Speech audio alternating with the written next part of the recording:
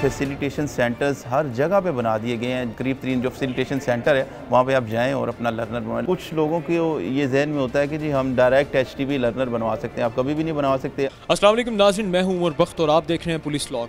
नाजिन अगर आप ड्राइविंग करना चाहते हैं और आपके पास अपनी सवारी भी मौजूद है तो याद रखें कानूनी तौर पर आप उस ड्राइविंग करने के तभी अहल होंगे जब आपके पास एक वैलिड ड्राइविंग लाइसेंस होगा। लेकिन सवाल ये पैदा होता है कि ड्राइविंग लाइसेंस के असूल का तरीक़ेकार क्या है और इसकी इकसाम कितनी है? तो इस हवाले से बात करने के लिए मेरे साथ मौजूद हैं इंस्पेक्टर नासिर साहब। आइए उनसे बात करते हैं। जी अस्सलाम सर। वालेकुम इंस्पेक्टर साहब सबसे पहले ये बताएँ कि ड्राइविंग लाइसेंस की इकसाम कितनी है? ड्राइविंग लाइसेंस की इकसाम होती हैं।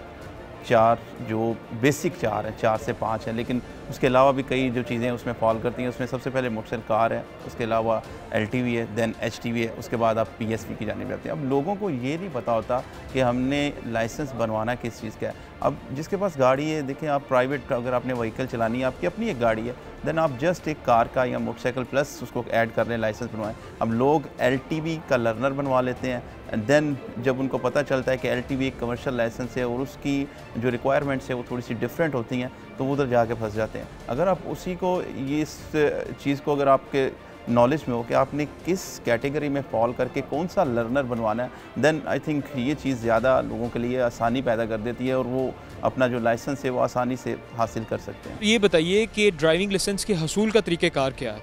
कैसे अप्लाई करना है? कितनी फ़ीस पे करनी है? ड्राइविंग लाइसेंस हासिल करने के लिए सबसे पहले जो उसकी कंपलसरी जो कंडीशन है वो ये है कि आपको 18 साल का होना आपका लाजमी है। जब आप 18 साल के हो गए हैं, आपका आईडी कार्ड बन चुका है देन आप लाइसेंस के लिए अप्लाई कर सकते हैं। अब उसके लिए तरीकाकार ये होता है कि अगर आप लोग मुख्तलिफ़ डिस्ट्रिक्ट से तल्लक रखते हैं, आल पंजाब में वो मुख्तलिफ़ डिस्ट्रिक्ट में जहाँ पे आप होंगे, अगर आपका एड्रेस अदर डिस्ट्रिक्ट है तो आप उस जगह से लर्नर बनवा सकते हैं। लेकिन अगर आप लाहौर के हैं दैन लाहौर में तो सी टी में बड़ा फैसिलिटेट कर दिया लोगों को। पहले मुझे याद है कि जस्ट हमारा जो सीटी ऑफ़िस है वहाँ पे ही लर्नर्स बनते थे। लेकिन अब फैसिलिटेशन सेंटर्स हर जगह पे बना दिए गए हैं। जहाँ आप रहते हैं, वहाँ पे जो आपका करीब तरीन एरिया है, वहाँ करीब तरीन जो फैसिलिटेशन सेंटर है, वहाँ पे आप जाएँ और अपना लर्नर बनवाएँ लर्नर का तरीका कार ये होता है कि आपने जस्ट अपने आईडी कार्ड की एक कॉपी अपने पास रखनी है और एक टिकट टिकट एक भी हो सकती है, दो भी हो सकती हैं। वो डिपेंड करता है कि आपने कैटेगरीज किसमें कितनी का बनवाना है? अगर आपने जस्ट मोटरसाइकिल का बनवाना है तो आपके पास एक टिकट होना चाहिए सिक्सटी का।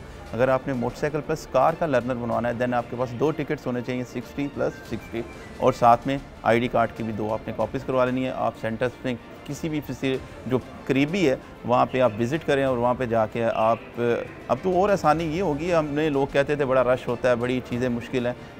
थ्रू रास्ता ऐप आप अपॉइंटमेंट लेके आप जाएँ आप अपॉइंटमेंट लेंगे, आपको टाइम मेंशन होगा कि इस टाइम पे आपने आना है। उसी टाइम पे आपको आपका लर्नर जो है, दो मिनट की बात होती है डाटा फ़ीड करना होता है, उधर जो कंसर्न पर्सन है, वो बैठा होता है, उसने डाटा फ़ीड करना है आईडी कार्ड की कॉपी और एक टिकट आपको चाहिए होती है फॉर वन कैटेगरी अगर अपने कैटेगरीज को बढ़ाना है तो वो फिर फर्दर आगे आगे चलता जाता है। अब इसमें भी थोड़ा सा ये मैं आपको बता दूँ कि लर्नर अगर आपने एलटीबी में जाना है या कमर्शियल की तरफ़ जाना है एलटीबी भी डायरेक्ट आप लर्नर बनवा सकते हैं। जिन लोगों को अगर कमर्शियल आपको पता है ड्राइवर जो हजरात होते हैं, उनको कमर्शियल लाइसेंस ही रिक्वायर्ड होता है फॉर जॉब ठीक है, अब उसके लिए क्या होता है कि लर्नर के लिए एक दो कंडीशन है एल टी वी के लर्नर के लिए आप उसी तरह आईडी कार्ड की कॉपी और टिकट्स तो रिक्वायर्ड है। फर्दर इसमें एज इफ़ेक्ट करती है कि अगर आप अबव 50 हैं देन आपको एक मेडिकल फॉर्म रिक्वायर्ड होता है। वो कोई भी एमबीबीएस डॉक्टर जो है, वो साइन कर सकता है। उसको, उसके अंदर जो भी रिक्वायरमेंट है फॉर्म के अंदर डिटेल होती है कि इसके सेहत के या हेल्थ पॉइंट ऑफ़ व्यू से ये बंदा इस तरह मेडिकली फ़िट है या नहीं है। अगर आप अबव 50 नहीं है देन वो भी रिक्वायर्ड नहीं होता ये कमर्शल लाइसेंस के लिए। एचटीवी और जो एलटीवी जो लाइसेंस है, उसके लर्नर के हसूल के लिए क्या तरीक़ेकार है? क्या आप डायरेक्ट अप्लाई कर सकते हैं उसके लिए? जो एलटीवी लाइसेंस है, उसके लिए you must be on twenty one आप 21 साल के हैं तो आप उसके लिए अप्लाई कर सकते हैं एलटीवी के लिए। अगर आप 21 साल के नहीं हैं तो आप एलटीवी के लिए अप्लाई नहीं कर सकते।